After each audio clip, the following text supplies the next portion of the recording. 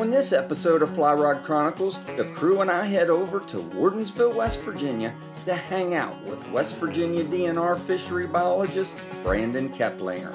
This show is going to be interesting because it's all about our West Virginia native fish, the brook trout, the Salvelinus fontinalis, and the incredible work and research that Brandon has done with reintroducing the heritage genetic repopulation of our wild native brook trout.